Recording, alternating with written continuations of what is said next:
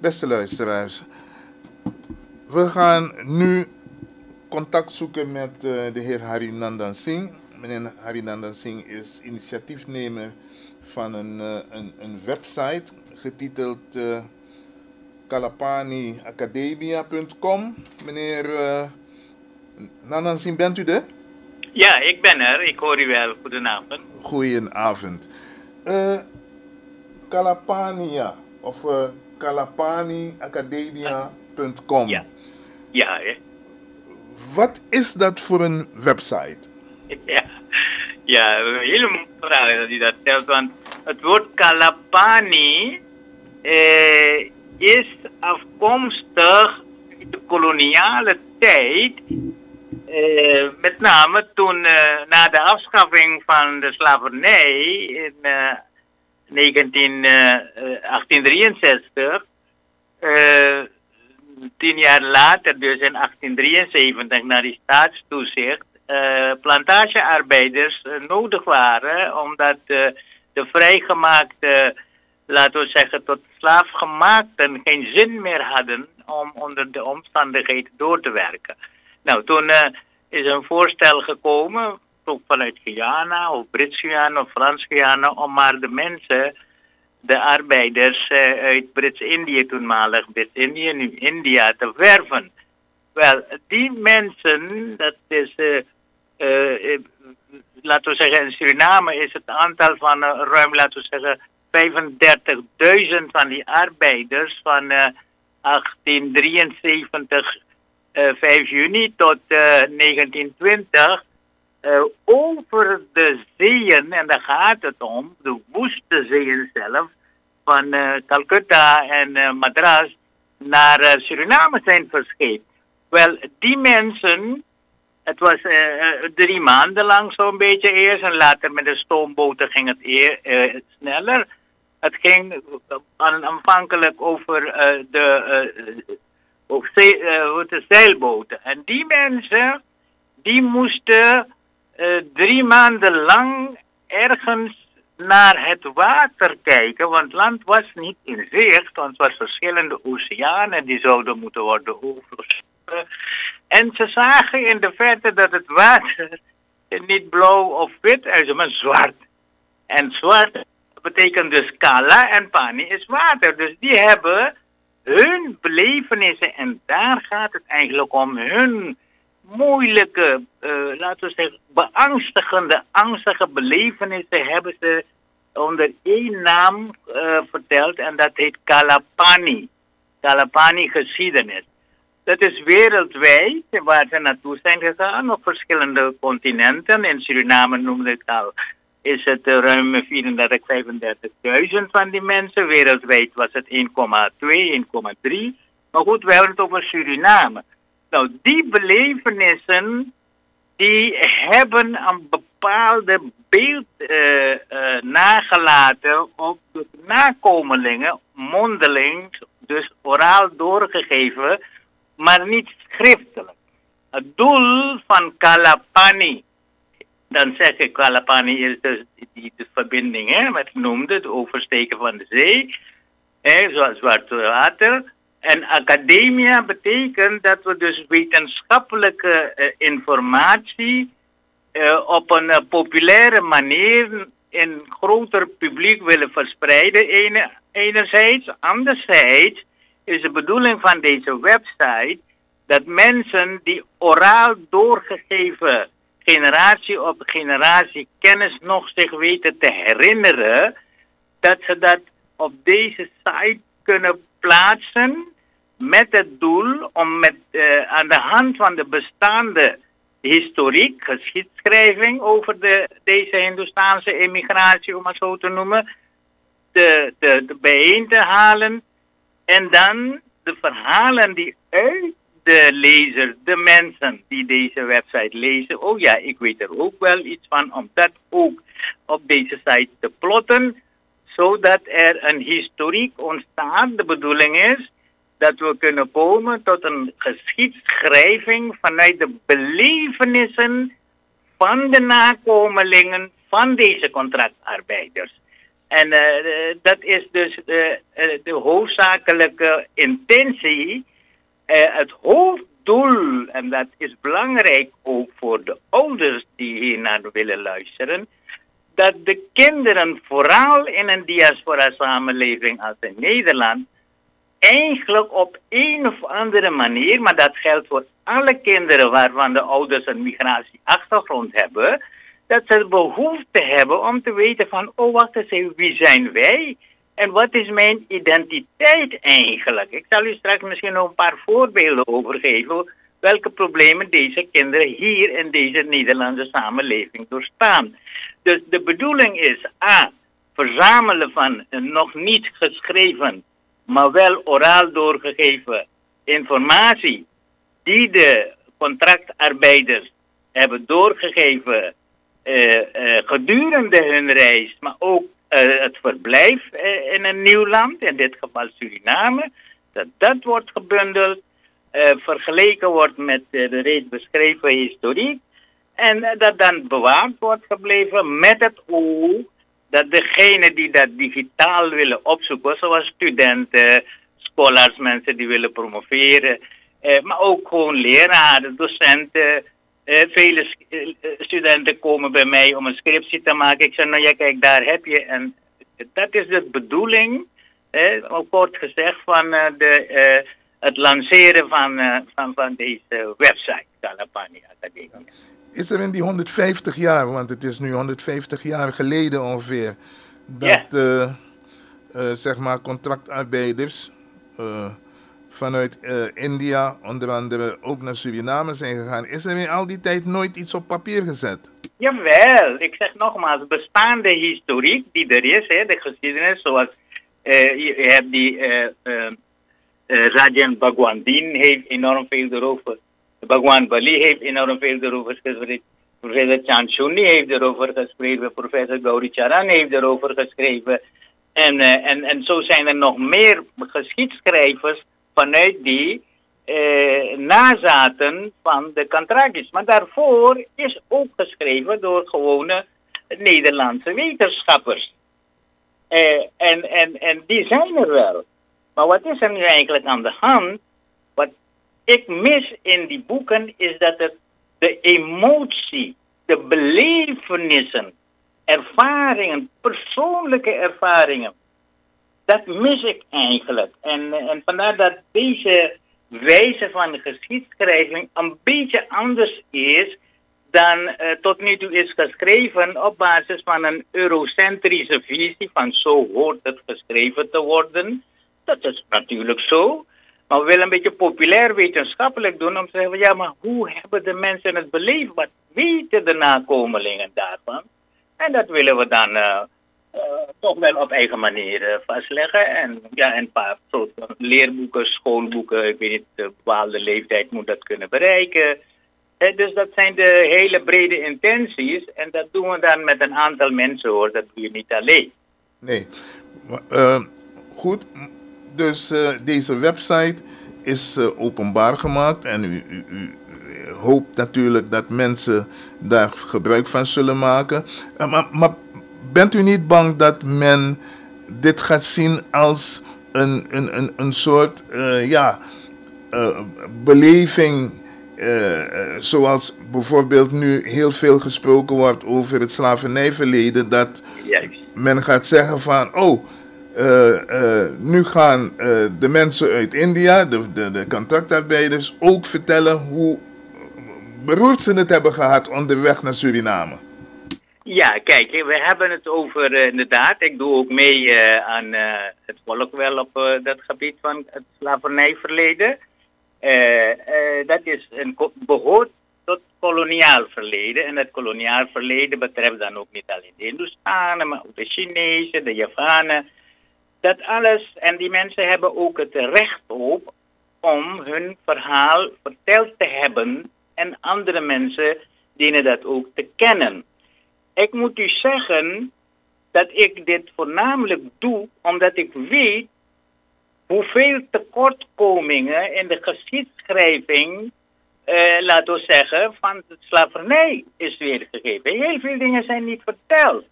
Heel veel dingen zijn achterwege gebleven. En dat heb ik in de laatste dagen ook in de columns ook geschreven. Eh, neem bijvoorbeeld het, het mutileren. Hè? Het mutileren van de mens in aanwezigheid van, van de geestelijke leider. Hè? Je kreeg namelijk een, een, een, een stempel alsof je een vee was van de baas. En je heet nu vanaf nu VE. Hè? Dat is misschien een, een, een, een, een verkorting van van Emden bijvoorbeeld. Dat krijg je op je rug. Ik noem dat mutilatie. Fysieke mutilatie. Daarnaast heb ik ook geschreven dat de mensen die uit Afrika onder verschillende omstandigheden naar Suriname zijn gebracht, niet alleen maar fysiek zijn gemutileerd, dus verminkt, maar ook geestelijk zijn ze verminkt. En in die zin geestelijk verminkt aan het verschil vergelijk ik ook. Ik weet dat de Amsterdam Universiteit, dat zult u ook wel al op de hoogte zijn gebracht, van 6 tot uh, eh, 10 juni een conferentie houdt, juist over deze twee thematieken. Hè? Wat is de impact geweest van het koloniaal verleden, dus van slavernij en de contractarbeid, op de huidige samenleving? En in dat kader wil ik heel graag dat vooral voornamelijk deze twee etnische bevolkingsgroepen uh, zich kunnen profileren van zo zijn wij. En vanuit die basis hebben we allebei een historische koloniaal verleden. Hoe gaan we dus nu met elkaar verder? Ja, ja. Dus het is een beetje breder gezien dan alleen maar het profileren van, uh, laten we zeggen, de Brits-Indische contractarbeid ik wil u zeggen dat dat minder, veel minder zwaar is geweest dan, dan wat onze uh, broeders en zusters met een Afrikaanse uh, afkomst hebben, die zijn slaaf gemaakt. Hè? Dus ja, want de, de, de, wat u dus zegt, ja, het is natuurlijk veel zwaarder geweest, want de, de mensen uit, uit Afrika, die zijn gedwongen, zijn eigenlijk geroofd uit Afrika ook door hun eigen mensen, om te verkopen aan die, die, die, die Europeanen. Die naar, naar, naar, maar bij de, bij de contractarbeiders was het in feite een contract. De contractarbeiders hebben een contract getekend om te gaan naar uh, Suriname. Maar de vraag is natuurlijk, is dat een, het tekenen van een contract wel zoiets geweest van dat ze gedwongen werden om een contract te tekenen of dat ze dat vrijwillig gedaan hebben? Ja, kijk, in de wetenschap die tot nu toe over de contractjes bestaat, hè, dat zijn de contractarbeiders in India, wordt kortaf contractjes genoemd, hè, dat dat een verkapte vorm van slavernij is geweest. Het was niets anders dan een commercie. De plantagebazen moesten winst maken en maar liefst zo hoog mogelijk. Die mensen hebben een contract aangeboden gekregen, niet wetende waar ze naartoe zouden gaan. Dat is hen niet breed uit verteld. Pas toen ze in die depots werden uh, gebracht en uh, aangenomen waren om te mogen kunnen reizen, is hen duidelijk gemaakt, u moet wachten op de boot.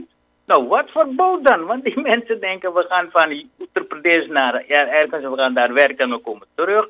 Dus er is een sprake van uh, misleiding er zijn ook gevallen waarbij er duidelijk ontvoeringen zijn geweest. En er zijn ook gevallen waar mensen bewust hebben gedacht van ja, waar dan ook, we gaan werken. In ieder geval, er is een contract getekend in het Engels. Die mensen konden nauwelijks schrijven en lezen. Dus een duim erop, niet weten wat erin stond.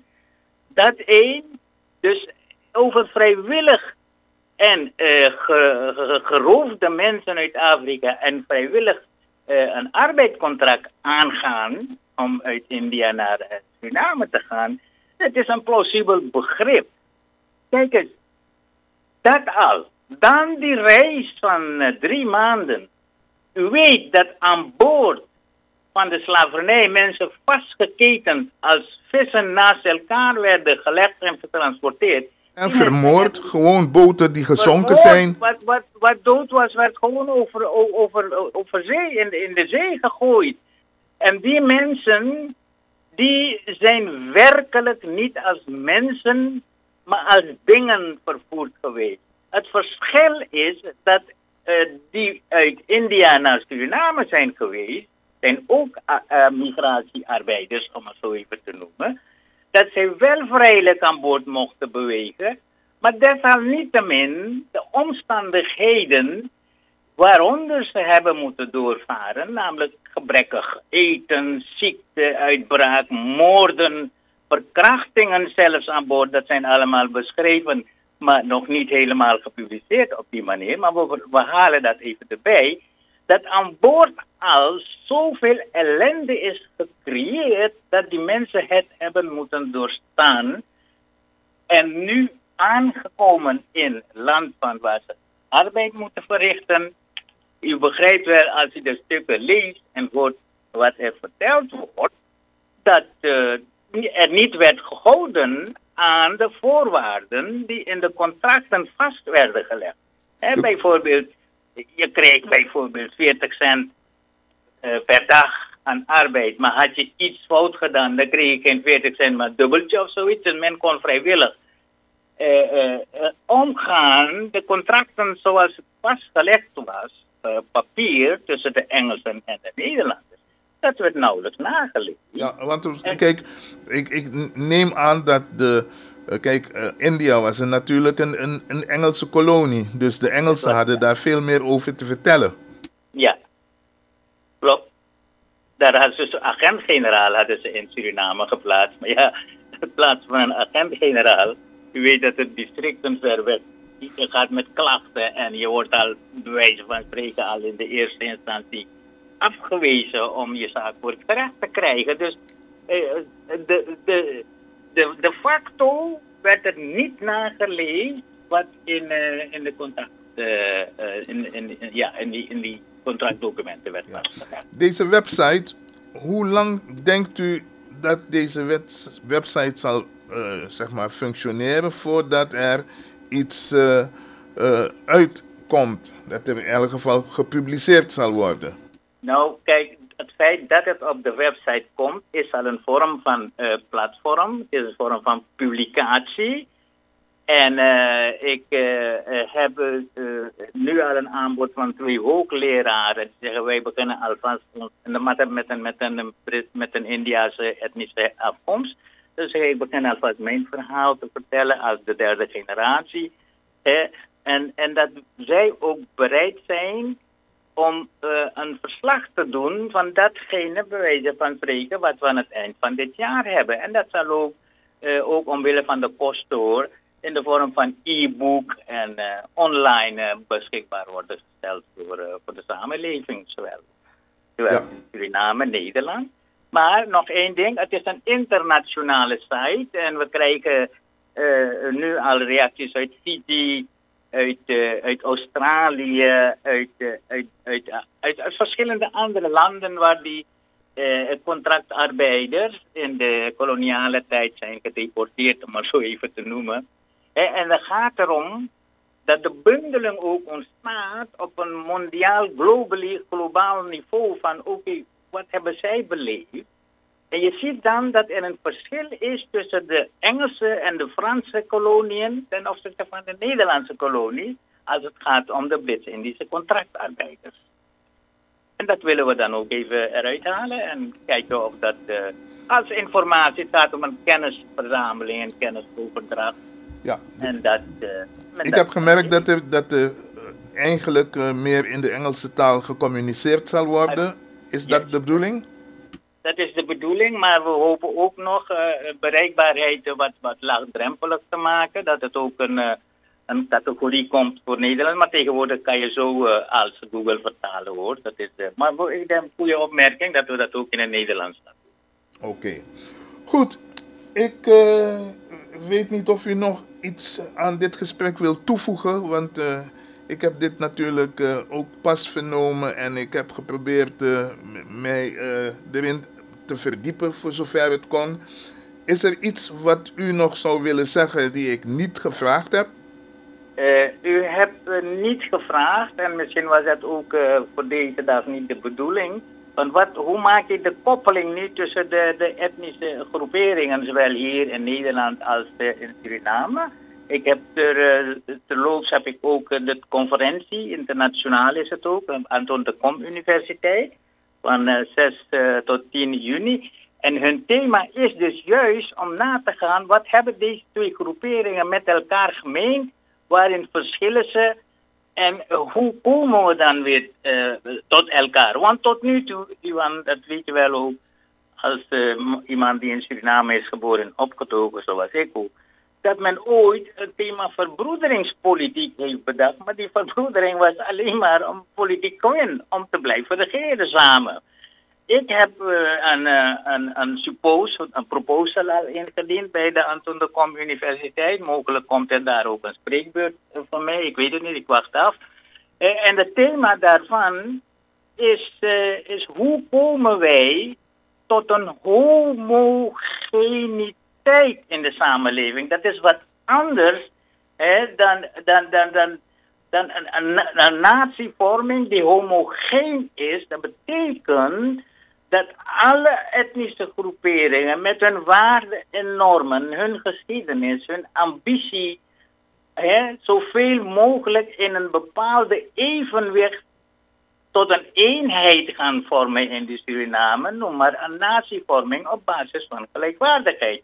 Ja. dat is dus wat ik eigenlijk ook uh, wil proberen uh, op een andere manier naar voren te brengen. En dat heb ik dus uh, ja. niet gezegd, maar nu, nu uw vraag noem ik dat ook als mijn, laten we zeggen, mijn, mijn droom. Ja, maar ik bedoel, de, de, de, de, de realiteit van hoe de mensen daar naartoe gegaan zijn, want dat is natuurlijk ook iets wat onderzocht moet worden per groep.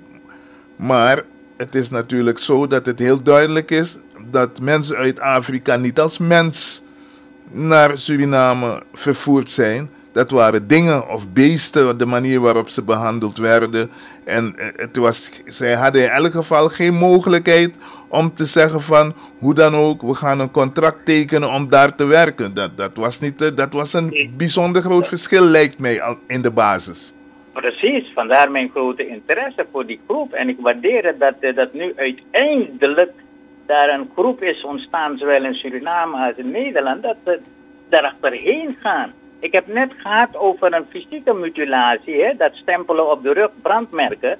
Maar ik heb gesproken over de geestelijke mutilaties. Dus hun namen zijn af. Kijk, het verschil tussen contracties en, en laat het tot slaafgemaakten is dat de contractarbeiders met naam, adres, et cetera, et cetera, zijn, zijn ingeschreven bij hun aankomst. Bij de, laten we door de slaafgemaakte is A hun naam afgepakt. Zie waar? Eh, is Aboykoni. Maar je hebt heel veel mensen die bijvoorbeeld een naam hebben van de baas van de Engelsen tot nu toe. Hun naam is afgepakt. Hun godsdienst is afgepakt. Hun cultuur is afgepakt. Begrijp je wel? Dus het verschil weet ik wel. Dat zijn de verschillen die je zo kan traceren tussen deze twee belangrijke etnische groeperingen. En u en ik en alle anderen die bezig zijn met de etniciteit, en dan heb ik het over onze jonge generatie die te lijden hebben. Nu, kampen, studenten, ja maar wie ben ik dan? Ik weet niet wie ik ben. Ben ik Surinamer? Ik ben in Nederland geboren. Begrijp je? Dus die mensen zijn op zoek naar hun identiteit. En identiteit, het meest belangrijke van een mens, niet waar, om te kunnen leven op deze aarde. En okay. van de, laten we van de tot slaaf gemaakt is alles afgepakt. Ja. Uh, nogmaals, het, uh, ja, de website. Ja? Dat is, dat is de Kalapani uh, Academia. En ik inspireer ook eh, laten we zeggen, collega's uit andere etnische groeperingen, om van hun groeperingen ook een dergelijk iets te gaan doen. Want zo kunnen we samenkomen, anders blijven we vechten. Bij minste geringste heb je dat uh, allerlei uh, spanningen van ja, zeg, ja, waarvoor zijn wij 150 jaar en 160 jaar in Suriname? Hebben we dit, willen we dit achterlaten voor onze jonge generatie? Nee, dat ben ik niet. Ja. Oké. In elk geval, meneer Harinandan Singh, bedankt voor de uitleg. En ik hoop dat er inderdaad veel reacties komen en dat er dus uh, toch uh, in elk geval uh, iets toegevoegd wordt aan de geschiedenis van Suriname. Ja, dank u wel. Ja hoor. Fijne, voortzetting. Dank u. Ja, dank u. Bye bye. Ja, beste luisteraars, en dat was dus een gesprek met de heer Harinanda Singh over de website kalapaniacademia.com.